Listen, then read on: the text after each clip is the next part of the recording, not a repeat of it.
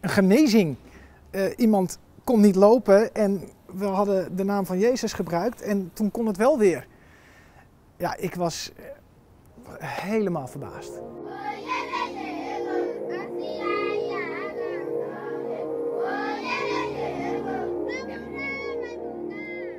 Een jaar of zes geleden ging ik naar Kenia. Ik ging een reis maken met Compassion mee. En we zouden daar sponsorkinderen ontmoeten, projecten bezoeken, kerken bezoeken, scholen bezoeken. En op een van die dagen, toen we daar op die reis waren, gingen we naar de Maasai. Dat is een nomadisch volk op uh, 2,5 uur rijden vanaf de hoofdstad, Nairobi. En toen we daar waren, werden we opgewacht door honderden sponsorkinderen die uh, allemaal stonden te zwaaien. Dat was prachtig. En we bezochten daar de, de hutjes, hoe mensen woonden. Na afloop van het bezoek gingen we nog voetballen. Wij als bezoekers tegen al die Keniaanse jongetjes. En die gastjes die waren super mobiel en die konden goed voetballen. En wat, op een gegeven moment was er een van die gastjes vlak bij mij. En die ja, verdraaide zich, die viel op de grond. Hij verging van de pijn. En zijn ogen die, die waren helemaal aan het draaien. En, en ik zag dat zijn knie dik werd, blauwig werd. En ja, we zeiden tegen elkaar van, joh, hij moet uit de zon. Dus ik samen met, uh, met iemand anders, we tilden hem op. En we liepen naar het dichtstbijzijnde gebouwtje. Dat was een kerkgebouwtje. En, en we liepen daar naar binnen en we zetten hem op de voorste rij neer. En vervolgens zeiden we tegen elkaar, wat, wat kunnen we doen? Wat moeten we doen? Ja, het enige wat we konden doen was bidden. Er was geen dokter of arts in de buurt daar.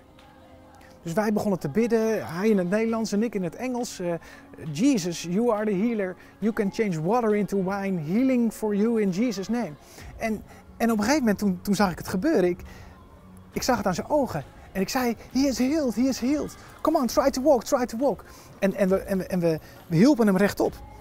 En hij, hij liep voor ons uit naar een soort ja, open raam. En, en hij keek uit het raam en wij liepen daar zo achteraan. En vervolgens voelde ik een warme wind naar binnen komen. En op dat moment zag ik dat jongetje naar buiten speren. Die ging weer lekker voetballen. En voor mij ging op dat moment de wereld om me heen even uit.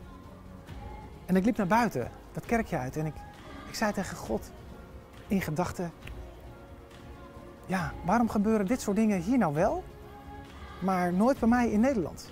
Want ja, ik, ik, ik kende dit helemaal niet, een, genezing door mijn handen heen. Ik had in die tijd net geleerd om, om Gods stem te verstaan en hoe hij soms spreekt op mijn gedachten heen. En ik, ik, ik kreeg in mijn gedachten, ja, omdat je thuis niet zo bidt. Omdat je thuis niet zo bidt. En ik ben erover na gaan denken, wat, wat is dat nou? Dus ik ging op zoek.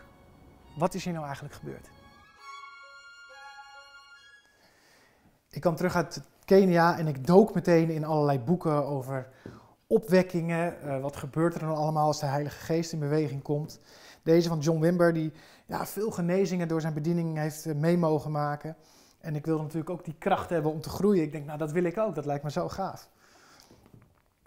Ja, het was een, uh, een, een, bijzondere tocht om ja, steeds meer te ontdekken van nou, hoe, hoe werkt dat nou eigenlijk? Bidden, hoe kan je daar dan in groeien? Hoe werkt dat nou eigenlijk? En ik ging zelf ook uitstappen. Ik ging eh, in de buurt rondlopen. Als ik mensen tegenkwam, ging ik voor ze bidden. Als ik iets zag, als ze met een kruk liepen. Als ik in de supermarkt was. Ik wilde overal wilde ik, het goede nieuws brengen van, van Jezus die geneest.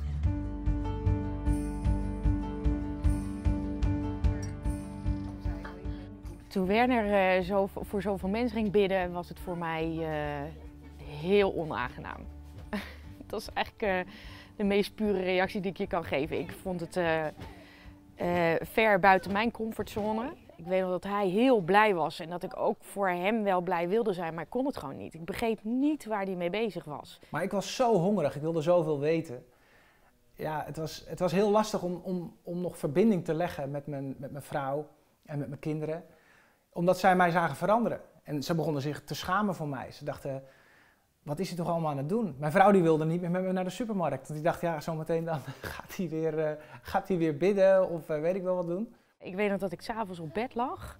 En ik was echt zo verdrietig weer. En ik heb nooit Gods stem gehoord of wat dan ook. Maar ik hoorde echt heel duidelijk de gedachte, laat het los. Laat hem los.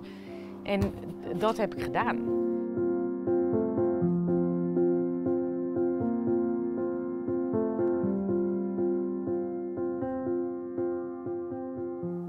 Was zo onder de indruk van, van de Heilige Geest en hoe die werkt, dat ik me soms ook wel te veel ging focussen.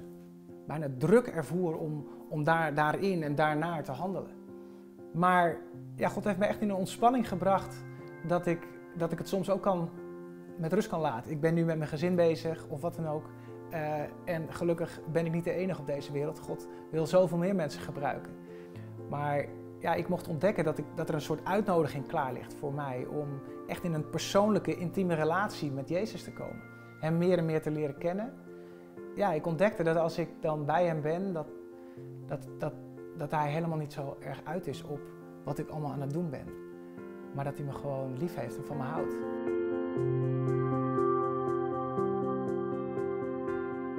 Hij veranderde gewoon heel erg om wat hij leerde kennen. Omdat hij, omdat hij de geest en omdat hij God leerde kennen op een andere manier dan wij gewend waren van huis uit.